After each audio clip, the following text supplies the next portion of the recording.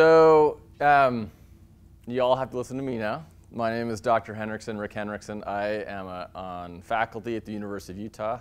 I teach medical students for my full-time job, and then I see patients on the side. Um, I, so I, am in the clinic only about three half days a week, and the rest of the time I teach uh, third and fourth year medical students. And so I um, usually force my students to be a little interactive when I teach, so be prepared.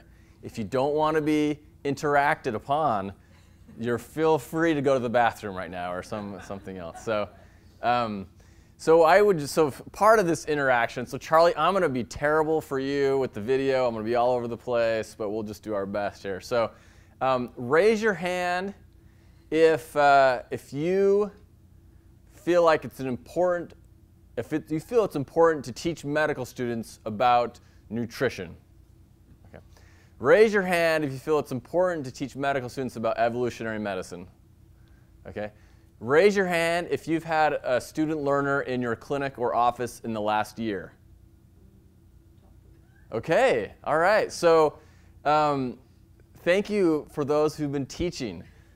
Um, those who are not currently teaching medical students or residents, you have lots of opportunity because I can guarantee that there is a medical student or resident who would love to be in your clinic and that there is a medical school or a DO school or MD that's somewhere nearby that you could reach out to. And I'll tell you what, as a third year family medicine clerkship director, if someone rang me up and said, hey, I would love to start taking students in my clinic, I would be very happy about that. Um, so there are lots of opportunities to, to reach out and, and to work to, to do that. We also have medical students um, within our own group who um, are looking for fourth year electives, et cetera, et cetera. So um, what I would like to do is to give you just a small tool that you can use um, to help your teaching. And this was a, this is a tool that was developed um, that was developed first by family physicians in clinical outpatient in the office setting, but can be used and has been exported to many different settings. And, um, and I think honestly, it can be used outside of clinical medicine also. It can be outside. It can be used outside of medicine, and I think it's a really good way of of of, um, of a teaching style that really helps the learner um, get into the process. But it also doesn't take very much time. As you can see from the title, the one minute preceptor, it's supposed to be very short. Has anybody done a one minute preceptor teaching or training? Okay. Oh, Jeff has me. All right. So um, we're, we're going to go through this because um, I know that not everyone likes to role play. I will be playing two roles um, during the role play here, but don't worry, you guys will get a chance to do some role playing a little bit later. So. All right, so first thing that you do in the one minute preceptor is you get a commitment. So um, what I'm gonna do now is kind of go through a role play. I'm gonna, the setting that I'm giving is I'm gonna be a family physician in an outpatient setting, which I am, um, and I'm going to be teaching a medical student who, had who has just seen a patient. So the medical student has, okay, so the medical student. Um, has just uh, presented, you know, Dr. Henriksen, this is a patient that stubbed his toe last week and it hurts really bad. And when I examined it, it looked stubbed. And so for the stubbed toe, I want him to um, buddy tape it and, and see how it goes the next week. And if need be, he'll follow up. Okay. So then as, as the physician, I said, well, great. Thank you very much for that presentation. Um, and uh, tell, me, tell me what you thought went well in your visit. So this is the getting the commitment part. So making them think about what happened and having them come up with something that, that went well or didn't go well. So you can say, how did, how did this go? And um, I have little uh, I have little note cards with all the answers on it. So I'm going to pass those out, but you can write you can take notes also. Okay. So getting the commitment means what have the person, the student think about what happened and then say it out loud. That's what I mean by get into commitment. So tell me how that went. Or you could even do, okay, you just presented that patient. How did you do in, in the presentation of that patient? The student then has to say, well, you know, I did a really good job by being succinct, Um, I used medical language, and I thought it flowed well. So that is a commitment for them. The first step is getting them to think about what happened. Okay. The second step, probing for supporting evidence. So what I say in this part is I say, you know, as the as the faculty, or I say, you know, you said that the you said that the toe looked stubbed. Um, can you tell me what what that looked like? So I'm probing this patient or the student to get to bring up more of the information they are confirming. So they say, well, it was black and blue, and and it, and it really you know really looked like it was injured. It was swollen uh, and that, that's what it looked like. Okay, so then, so then I say, okay, so um, all right, so that was probing, so I'm getting more inf- information. So then reinforcing what was done well. So I, as the preceptor, say, yes, you did a very good job. That that is correct. A black and blue toe usually means it was stubbed. I think you found that very well in in the in the in the in the visit. Okay, so I'm reinforcing that part that was done well. You can pick one or two things. You don't want to pick too much, or else it's no longer one minute preceptor. And then, so uh, then as the student, you're like, okay, yeah, I did really great. Okay, but this is the time where I can say, you know, in your presentation, you just relayed the fact that you thought it looked stubbed. In the future, one of the errors, th- one things that you could do is say what actually you found on the exam. So rather than saying, you know, I thought it looked stubbed, you could say it was black and blue and swollen. And that would help me, you know, hearing what you're saying so that I can understand exactly what's going on. And then this is the part where you get to teach a general principle. So you can pick anything that you would like, that, but basically something that regards to the commitment. So um, in this case, you could say, you know, it is very important to be succinct, you know, in your presentations, but make sure you include all of the important details. Okay, so that's some, a general type principle that they can think in their mind that will stick for future use. In general, when you're presenting, you want to make sure you start with the subjective and end with your assessment plan. Okay, period. Um, just so it's a very short catchphrase is something they can, they can pick up. And then the last is you can, you can, if you need to, this is something you don't have to do, but you can pull a conclusion with some of the things that you've been talking about. So this, in reality, should not take more than a minute or two to go through this whole process.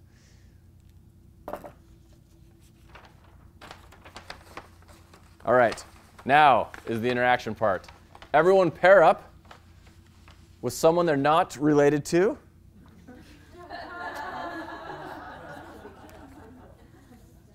or that they haven't known for many years.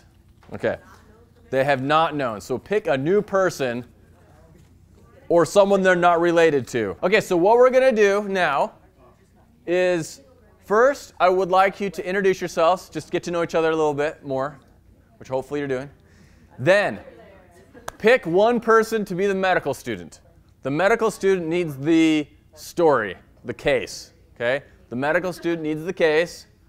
Preceptor, you're actually you're doing the hard part right here. So you have you're going to go through and do the commitments. So the the student read the case, present the case to your preceptor, okay? And the preceptor is going to do 1 minute preceptor back to you. Okay, please let me have you back.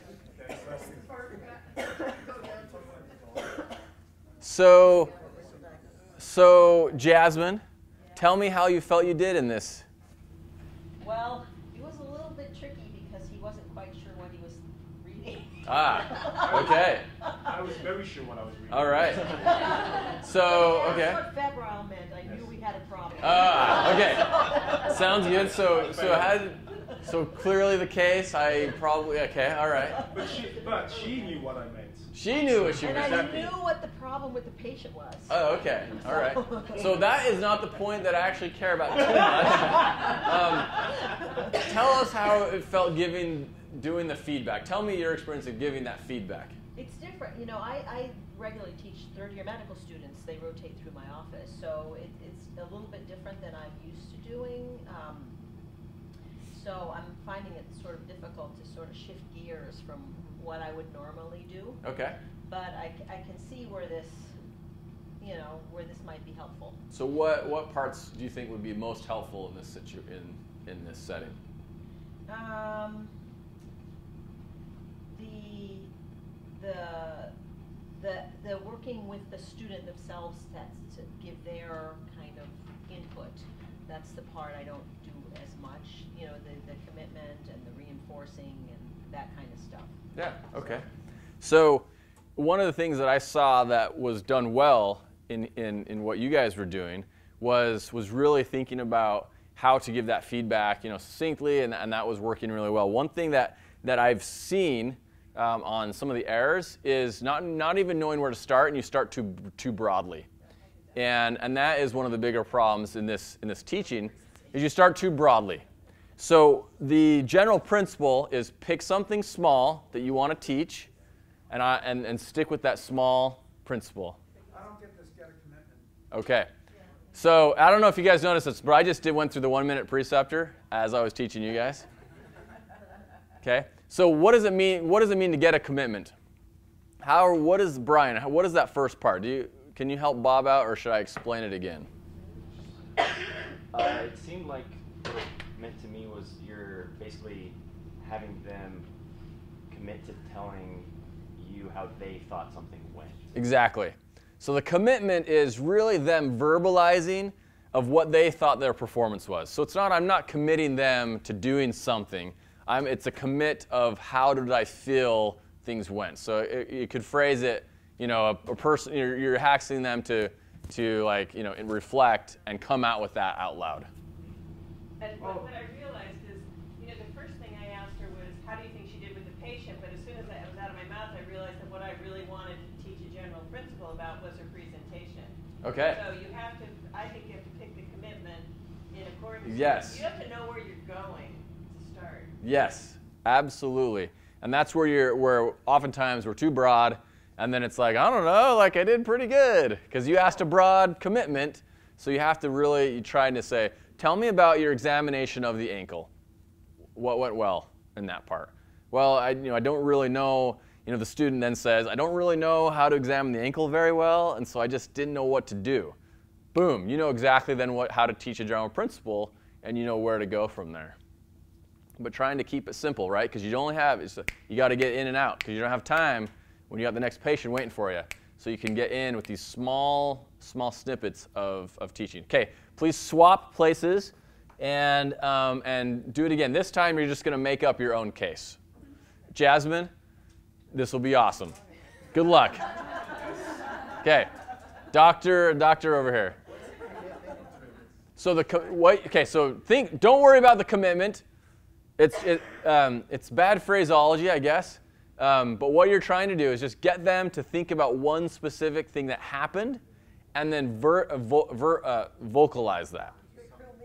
So they have to think about what happened and say how they felt that they did. So we just have a, a, just a few minutes to talk about this. What, how did that, that next session go? I'm not going to do the one minute preceptor now, but how did the next, how did it go for you guys? Okay, let's let's hear from this uh, this couple up here in the front. Okay, so we got we had doctor, the good doctor back here doing a good job. Let's let's now hear from uh, our ladies up here. Yeah, eat and eat. It's Good. Yeah. I'm sorry, I have a terrible laryngitis, which I'm hoping nobody gets.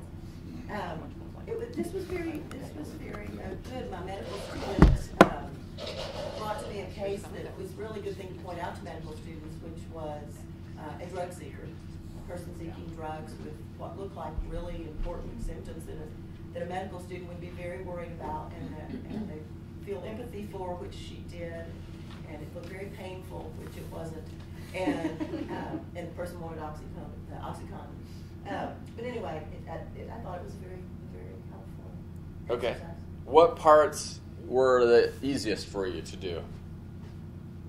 Knowing instantly it was a drug seeker, but apart from that. Yeah, no. Besides the medical part, just the the medical part. the the teaching part. What is? Oh, I, um, gosh, the teaching part. Well, you know, she was a she was um, she was a good medical student. Okay. And um, she made it act very easy for me to to kind of guide her along and, and ask. You know, she was very forthcoming and, and she was, she was easy.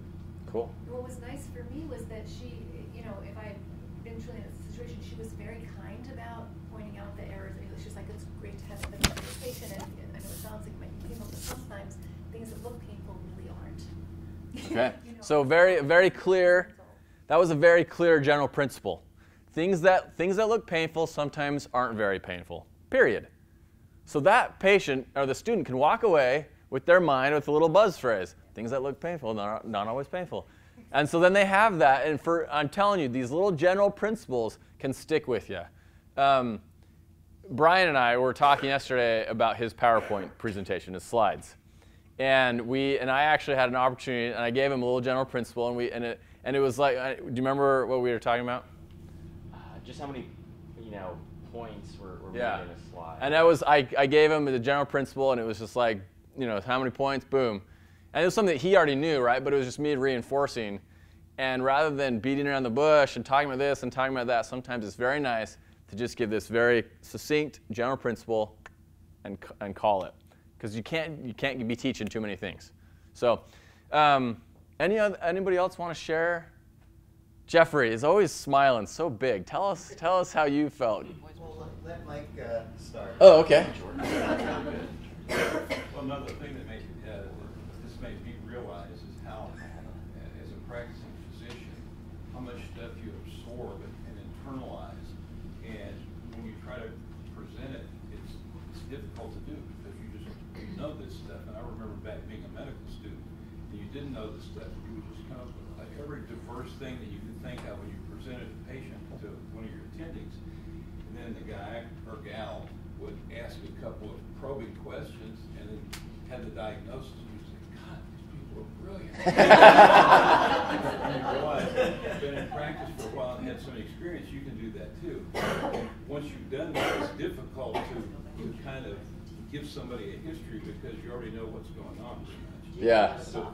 Yeah. Deconstructing what's happening. Out of the box. You can't put it back in. Right, so the wise, the wise preceptor, There you go. working with the student, focused in on, um, you know, a patient with car, uh, chest discomfort. And we talked about, uh, whether to have to do a full cardiac workup on somebody that walks into the office with chest discomfort. Okay. Great. So thank you very much for your time. Think about using this. Um, when you're teaching, teach one thing at a time and then stop.